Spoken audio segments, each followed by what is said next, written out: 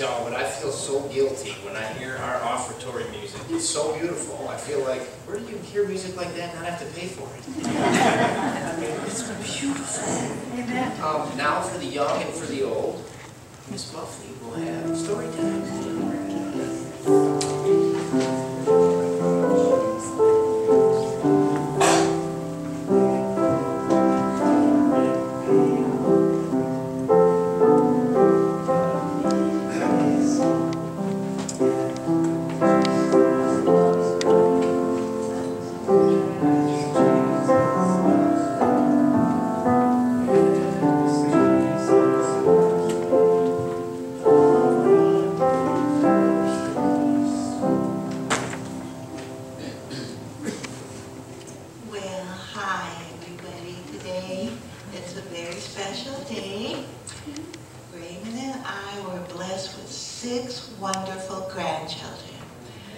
you know something that I discovered?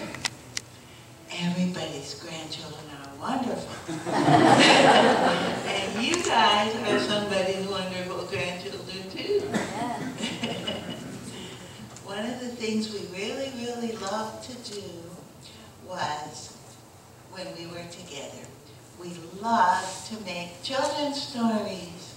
And the kids would love to dress up in costumes and we would make children's stories.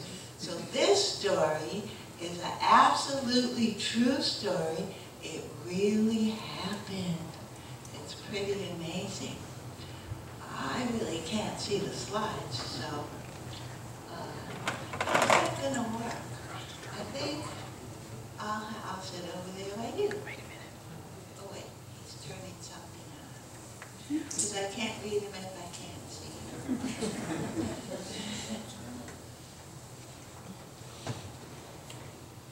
That's okay.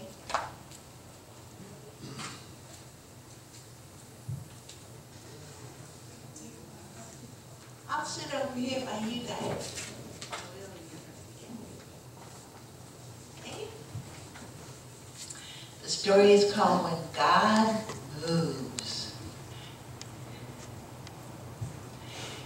In the 1800s, that was a while ago, the Spirit of God was moving over all. Jesus wanted everyone to know that he was coming back soon to earth to take all his people home to heaven. Praise the Lord, he still wants to do that.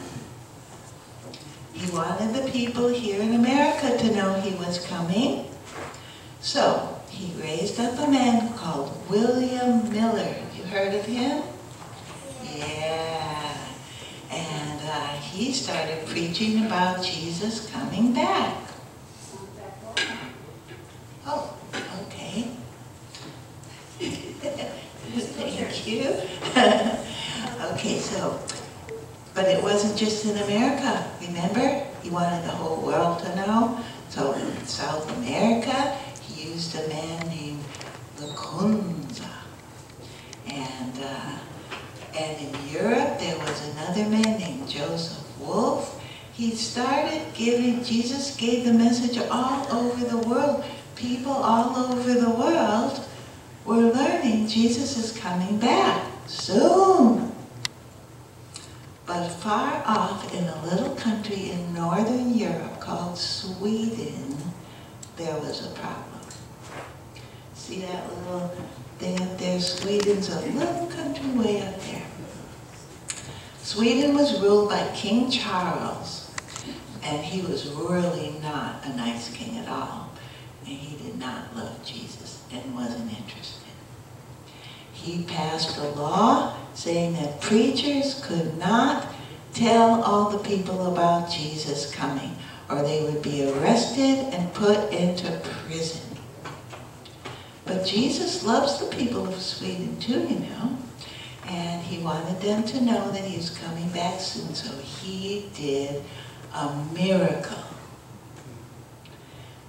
The pastors were not allowed to tell people in the church about Jesus coming back.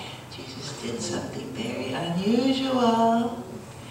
Little children would be happily playing with their toys when suddenly the Spirit of God would come over them and they would stand up and begin to preach. Some of the children were only five to seven years old. Even though they could not read, they began quoting scriptures right from the Bible. God was using young people of all ages. Two teenage boys, ages 18 and 15, began to travel around the country telling people Jesus was coming back soon. They, the older boy was using the people, was urging the people to repent and get ready for the day of the Lord. He was preaching with his whole heart because he really loved Jesus. But soon he was arrested and he was beaten and thrown into a terrible, dark, cold prison. But he prayed for Jesus to be with him and keep him strong and faithful, just like Daniel. His friends outside were praying too. God heard their prayers and worked a miracle in the king's palace. King Charles, the main king, he died. And his son Oscar became uh, the new king. But Oscar was a good man. He was a nice king. And uh, he changed that law and he made it legal, okay for pastors to start preaching again, talking about Jesus. And he also ordered that nice young man to get out of jail.